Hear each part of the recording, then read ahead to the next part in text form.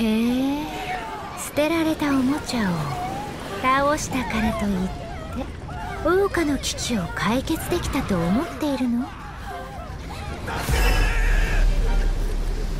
かわいいね。何をするつもり？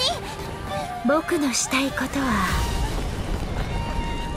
今まで誰も止められなかった。今回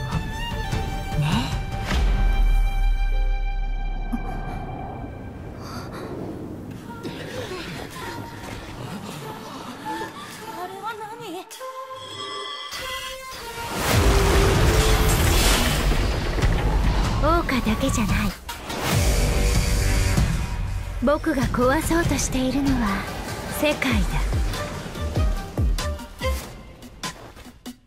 遺言の準備はできた？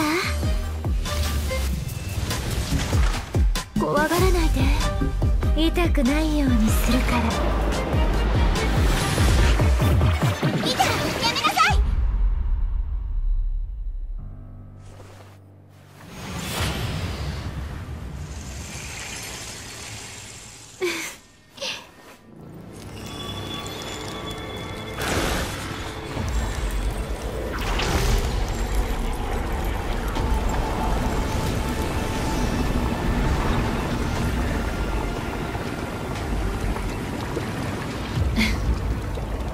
やっと現れたんだ。